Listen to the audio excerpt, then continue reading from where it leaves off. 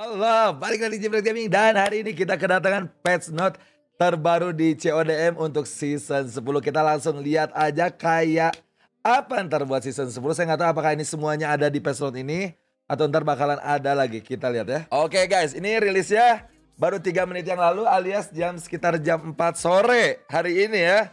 Kami akan merilis fitur dan battle pass terbaru. Apa aja yang baru? Ya, ini temanya Dihan atau berburu atau pemburuan, ya itulah pokoknya ya. Akan mempertemukanmu dengan Mara, oke? Ini karakter baru. Eh Maranya udah ada ya. Valkyrie-nya maksudnya Mace, Outrider, Makarov. Ini mungkin bisa kita dapetin dari Battle Pass kali ya. Nah, terus ada mode baru juga Headquarter. Dulu-dulu kita udah pernah coba mainin bro ya. Jadi kalau kita ma mati nggak akan respon dulu sampai teman kitanya habis baru ter uh, respon lagi barengan gitu. Hardcore mode ini lumayan seru, kita nggak bisa regen, terus mapnya terbatas segala macam. Ini bakalan rusuh ya. Map baru terminal, wah ini enak banget sama Pine. Kalau nggak salah waktu itu satu lawan satu atau dua lawan dua ya. Ya pokoknya sekitar itu lah ya, cocok. Saya lebih suka ini dibanding Gulag ya, entah kenapa. Mungkin karena temanya alam kayak. Oke, season 10 Battle Pass tersedia segera. Lanjut langsung ke hadiah Battle Pass. Karakter epic terbaru Mara Valkyrie. Ada empat ya, Tombstone, Outrider, sama Makarov Jungle. Terus senjata epic terbaru, Echo. Kalau nggak salah ini Echo senjata baru banget bro ya. Sebelumnya season sebelum belum ada ini kalau nggak salah uh, apa shotgun tuh deh. GKS, uh tumben GKS ada lagi. Apakah GKS bakalan jadi meta season sebelum entahlah semoga aja. Terus kasihan soalnya ya di anak tirikan LK ini favorit saya LK sama XPR Araponobi. Oh ini kalau nggak salah ini bro ya. Berhubungan sama laba-laba kan entahlah. Terus senjata epic tema terbaru Bloodline. Calling card legendary baru Fatal Attraction. Oke, kalian ini semua bisa dapetin dari Battle Pass. Jadi mulai nabung dari sekarang ya CP-nya ya. Nah, sekitar biasanya biasanya kemarin-kemarin 300 kah 400 CP. Jadi tabung jangan dipakai dulu guys. Terus ada Battle Pass gratis terbaru ini yang gratisannya ya. Senjata baru, shotgun dengan kapasitas peluru banyak. Ah benar ya shotgun tuh ya. Terus senjata yang cocok untuk map yang memiliki banyak lorong pertarungan jarak dekat. Operator skill terbaru equalizer yang dua senjata dua senjata gitu ya. Tapi di sini disebutnya machine gun, kayaknya bukan machine gun deh.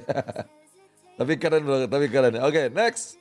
Hadiah event baru, tantangan dan misi terbaru hadiah spesial. Oke, ada apa aja? Ada perk baru, high alert. Ini sering kita pakai waktu tes server.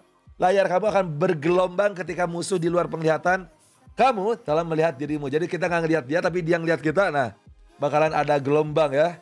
Terus kita juga bisa menandai musuh dengan cara ADS ke musuh. Dan itu bakalan bantuin tim kita. Terus ada kelas baru ntar di Battle Royale yaitu hacker kalian tahu ya. Mematikan fungsi layar, layar apa map ya kalau salah ya. Di sini ada kok oh ada di sini bro. Dan menghancurkan sementara perangkat lawan. Jadi mereka nggak bisa ultimate dulu untuk sementara ya. Kamu akan kebal dengan kemampuan hacker. Oke, jadi kalau hacker ketemu hacker tidak akan berfungsi ya. Oke, nice. Multiplayer-nya. Mode game baru hardcore. Nah, tantangan terekstrim. HP atau darahnya kita lebih rendah, tidak ada regenerasi HP. Jadi kalian sekarat, kalian sembunyi nggak akan ngaruh guys. tidak ada kill cam, jadi kita tidak tahu matinya dari arah mana musuhnya nembak. Hatnya tampilan-tampilannya terbatas tidak akan semua dilihatin sama serangan anggota tim bisa melukai kita. Biasanya kan friendly fire ya. Kali ini tidak. Oke, okay. terus uh, oke okay, ini tersedia hardcore ini tersedia di TDM Domination Hardpoint. Terus juga mapnya sini sini. Oke. Okay. Terus mode kedua headquarter, tangkap dan pertahankan headquarter untuk mendapatkan poin. Jadi kayak hard point gitu, tapi kalau kita mati nggak hidup lagi. Jadi untuk tim yang bertahan ya kecuali tim yang menyerang ya respon terus. Kecuali yang bertahannya jadi bisa sisa satu lawan lima gitu. Kalau dia udah mati baru bakal diambil sama musuh. Kitanya baru respon lagi barengan. Kira-kira gitu ya. Untuk map crash, terminal, stand off, summit, crossfire, dan lainnya. Next, map baru terminal. Oke, tadi kan ada dua ya. Map favorit para soldier kini telah tiba di CODM. Saatnya untuk menguasai kembali map klasik ini. Tambahan fitur kaca yang bisa diajar. Saya kira fitur apa ya, tapi bolehlah. Setidaknya ada suara-suara kaca yang pecah gitu ya. Mantap. Oke, ini bisa di TDM, Domination, Mission. Hardpoint 10 V10. Wah, seru nih 10 V10. Biasanya kita mainnya di ini terus bro ya. Apa tuh namanya kontainer kah? Disebutnya apa? Shipment ya? Kontainer ya pokoknya ada kontainernya lah ya terus di terminal eh, mode rangkat oh mode rangkat nambah terminal guys sekarang di hardpoint sama bom mission ya oke itu untuk terminal terus map lainnya ada pine cocok untuk pertarungan jarak dekat dan intens. Ada di gunfight sama 1v1 duel ternyata. Oke, next. Ada perbaikannya di Battle Royale. Sekarang ada senjata Epic Legendary. Di tanah tidak lagi menggunakan attachment optik sebagai attachment.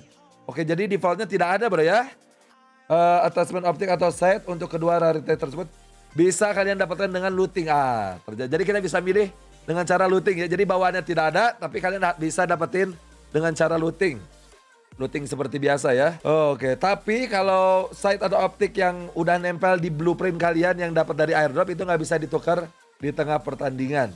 Oke, jadi bakalan permainan kalau kalian dapatnya dari airdrop ya yang kalian ambil. Oke. Next.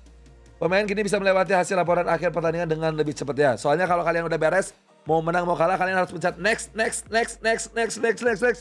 Lama banget bro ya sampai akhirnya baru bisa mulai pertandingan lagi. Gitu. Ini banyak yang ini bro ya. Banyak yang protes, banyak yang mengeluh gitu ya.